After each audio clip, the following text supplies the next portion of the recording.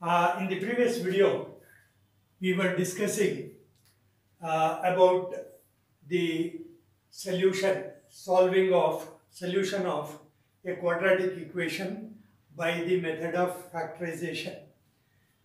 We are going to continue with that and we will do a few more problems.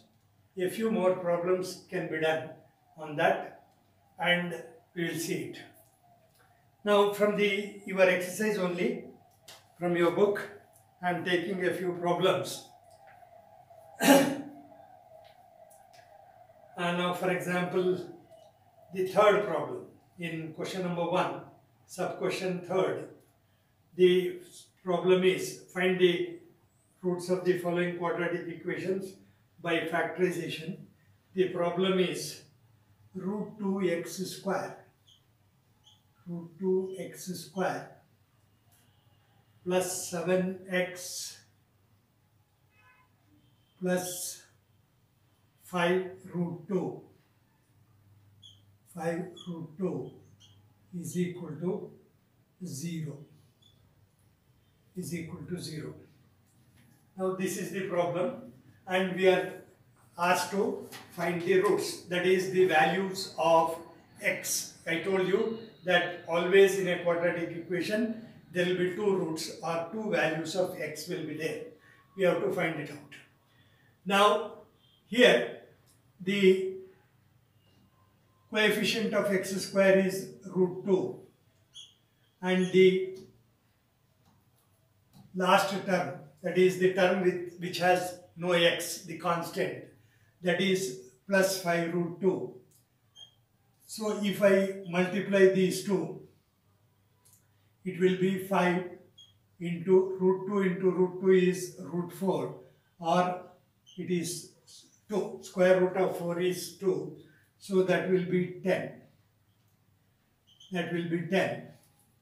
And the product here root 2 x square is there. So 10 x square it will be. The product of this and this the product of first and last term will be plus 10x square. Now, plus 10x square is the this thing, plus 10x square. The factors, the splitting, it can be split into 5x into 2x. Now, both should be plus or both should be minus. Now, the sum of 5x plus 2x, the sum, the midterm is plus 7x. So both should be plus here. So it can be split. The given equation can be split as root 2x square. Root 2x square. This is the given equation. Now this can be split like this. Root 2x square plus 5x both are plus this is also plus this is also plus so that plus into plus is plus 5x plus 2x plus 5 root 2 is equal to 0 now I have split this 7x into two parts 5x plus 2x such that the product of these two the sum of these two is the middle term. The product of these two is the uh, sum of uh, the product of these two is the equal to the product of first and last terms. Now, in these two, the common factor is x. So, if I remove x there, root 2x plus 5. This is 1 plus here root 2 is the common factor root 2 into x plus 5 is equal to 0 so this is common here. Yes sorry sorry, sorry.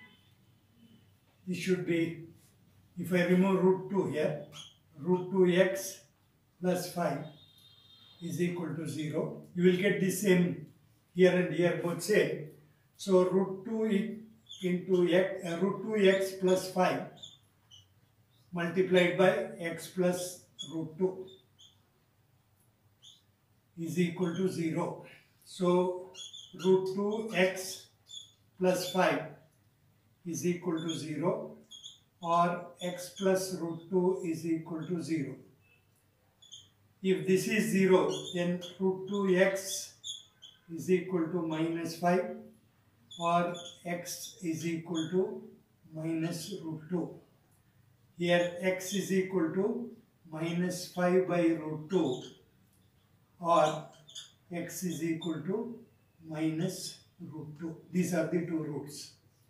Two roots of the equation, quadratic equation. Now, a quadratic equation can be given in the form of a sentence also. See the next problem I am taking is like this.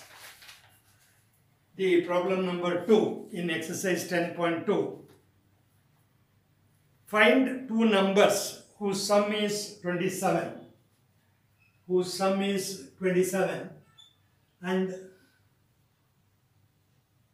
product is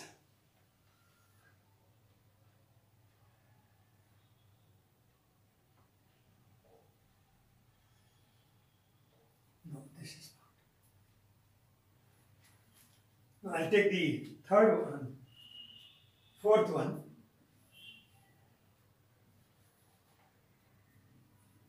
Find two uh, consecutive positive integers, sum of whose squares is 365. Find uh, two consecutive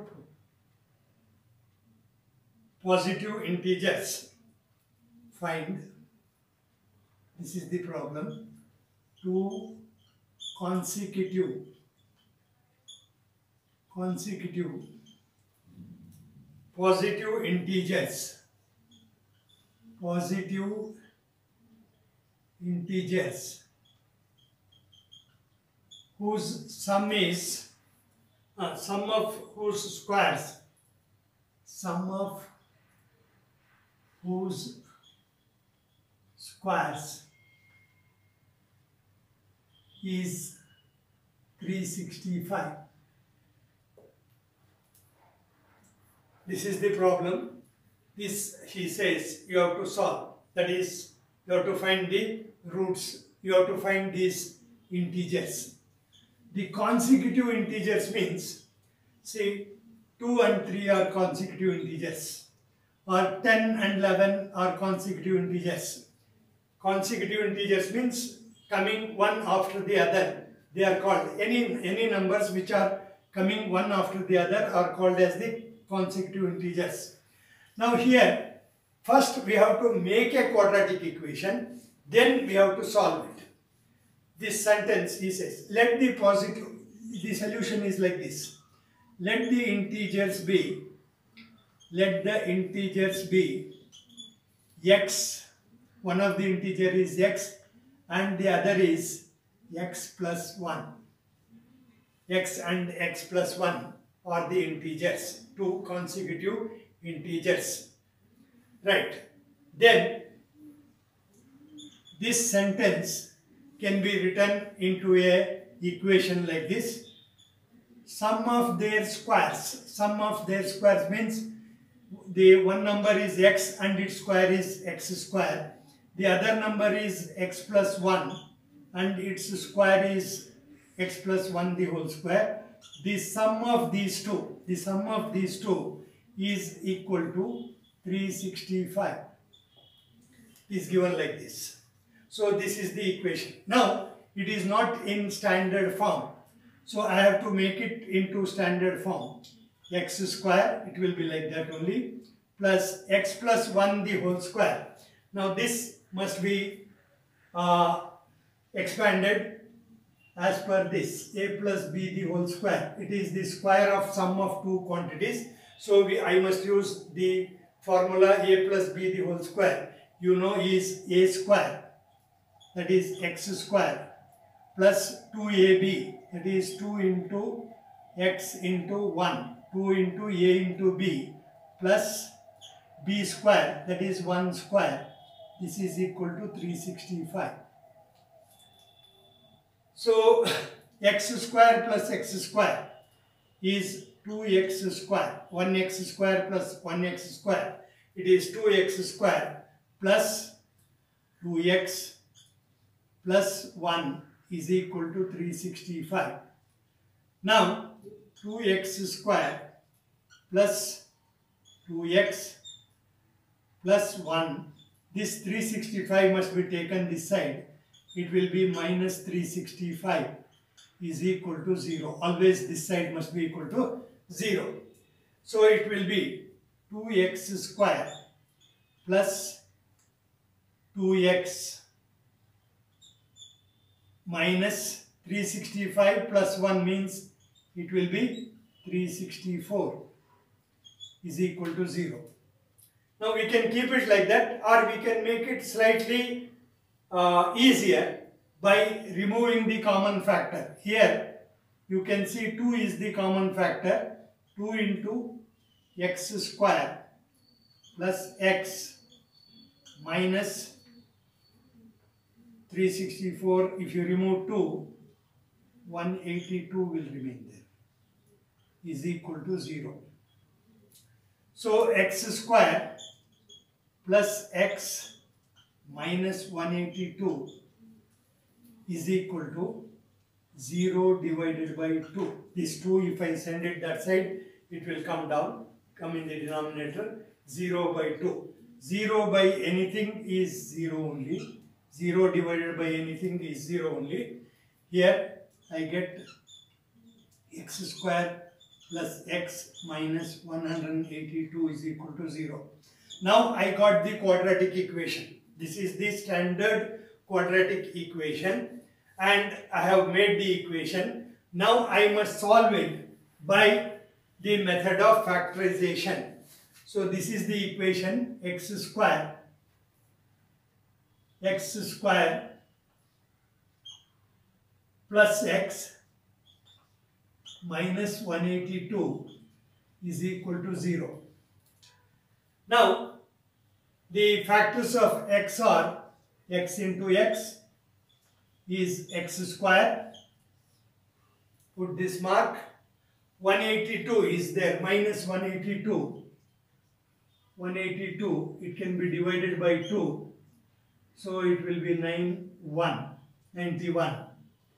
Then it can be divided by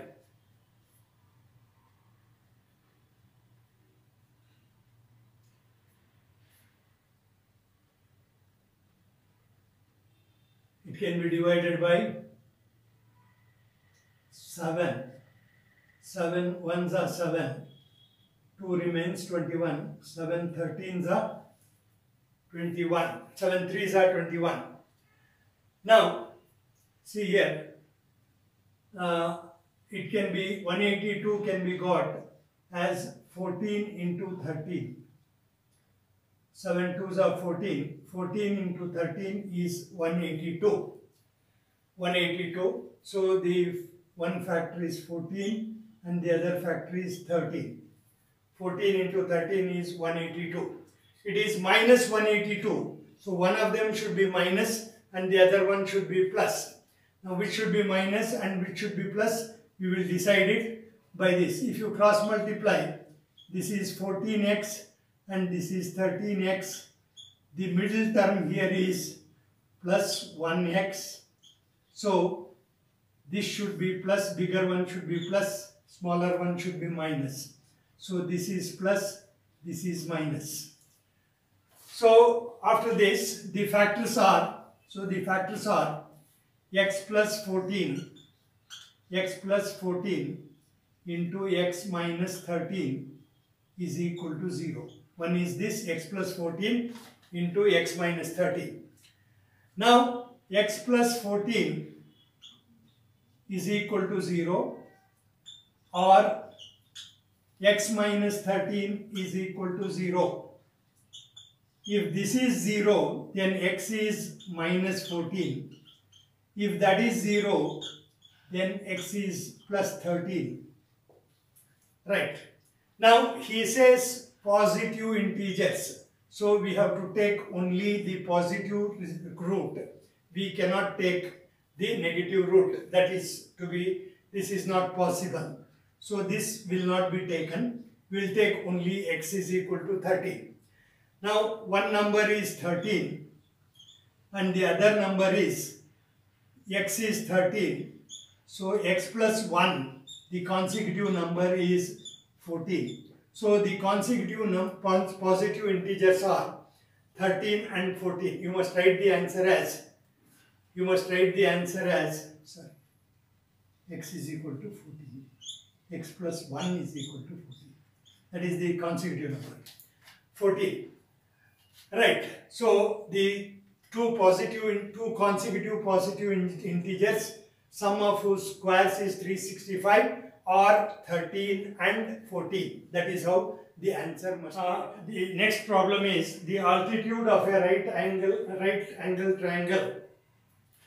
The altitude of a right angle triangle is 7 centimeter. 7 centimeter less than its less than its base. Altitude of a triangle. Altitude of a triangle of a triangle is 7 centimeter less than its base. Full stop. If the height, uh, sorry, if the hypotenuse is, if the hypotenuse is 13 centimeter, 13 centimeter, find the other two sides. Find the other two sides.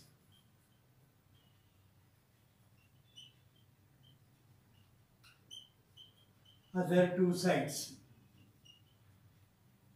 This is, this is the problem. This is to be done using the theory of quadratic equations. Now we have a right angle triangle here we have a right angle triangle. This is the right angle triangle, let us say. So you know the, the side opposite to the right angle is called as the hypotenuse. This is given as 13 centimeters. Now, this is the base. This is the altitude. Altitude.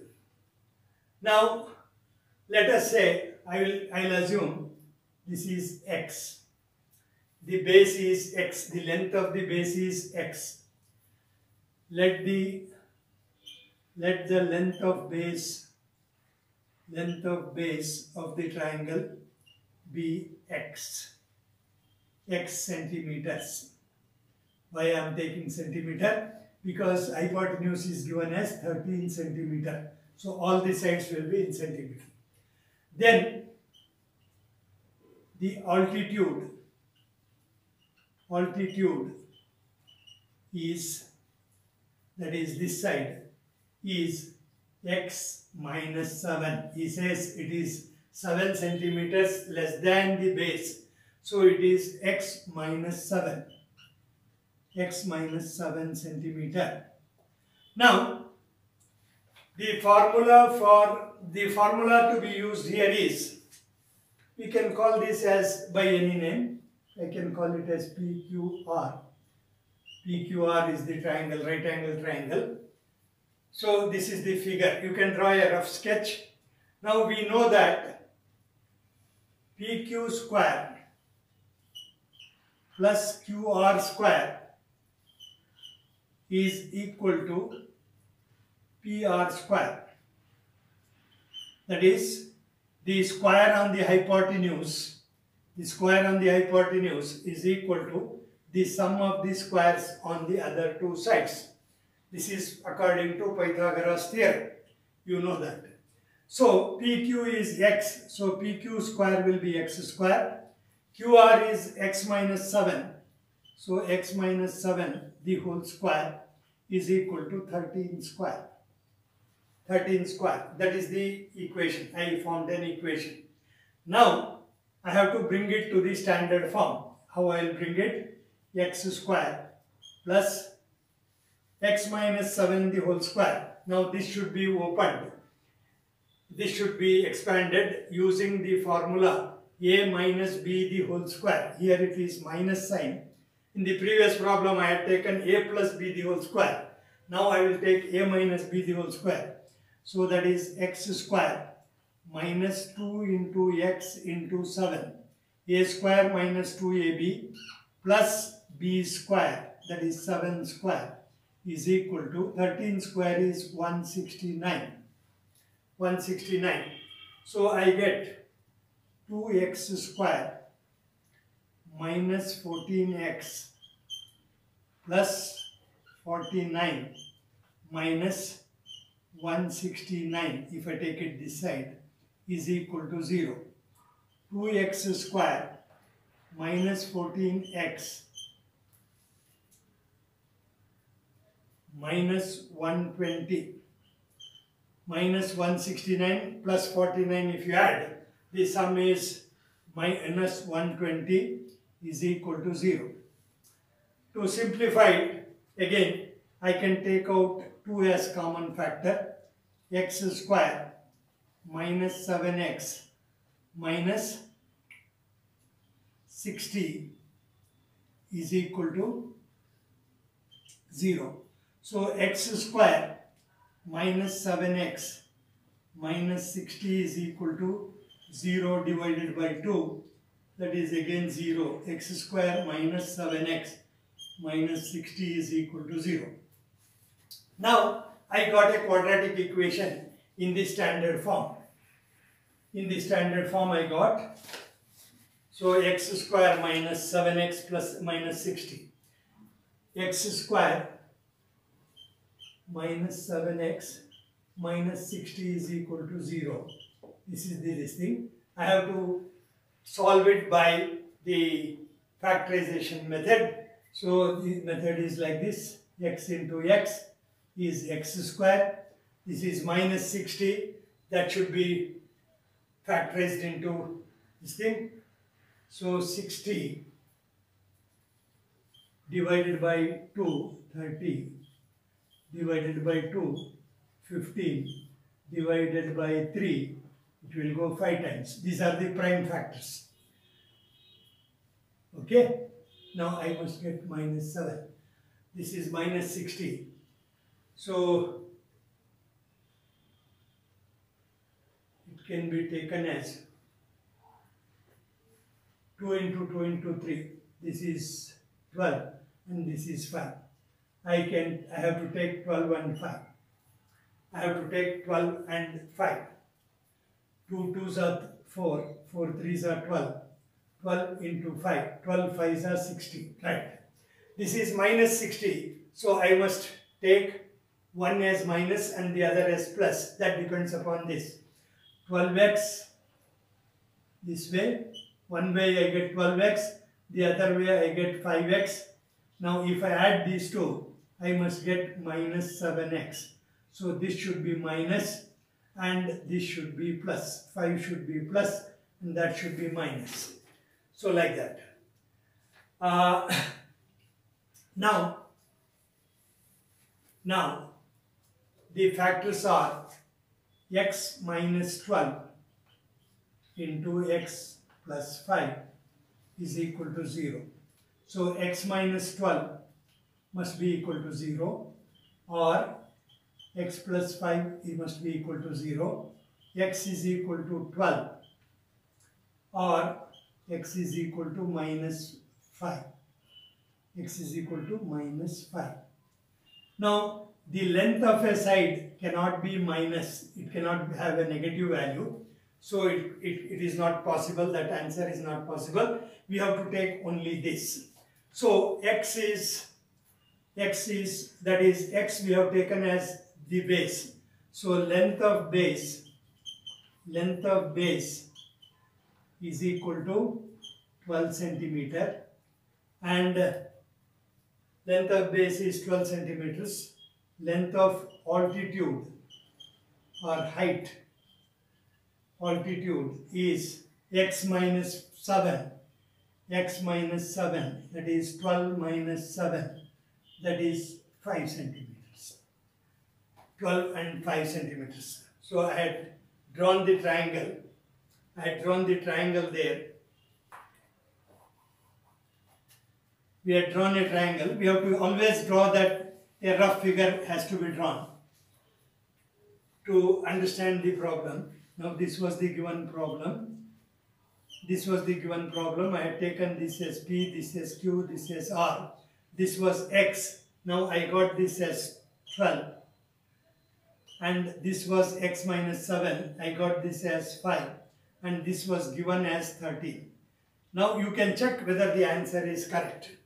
Now 12 square plus 5 square that is 144 plus 25 the total of these two is 169 13 square is also 169 169 so the answer is correct.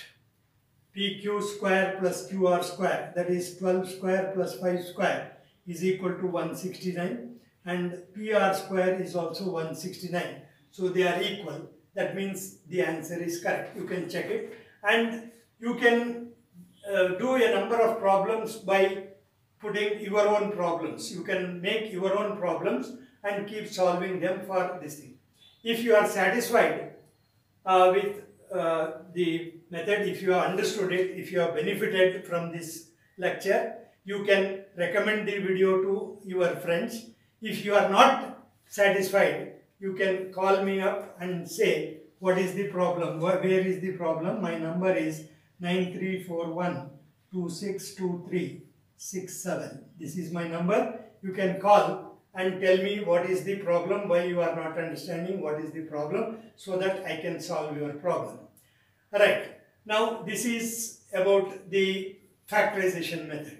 The next method is the method called completing the squares method, solving a quadratic equation by completing a square method that has been removed from the syllabus for the coming examination. So I will not be doing it. Second method I will not be doing. I will take up the third method in the next video. Thank you.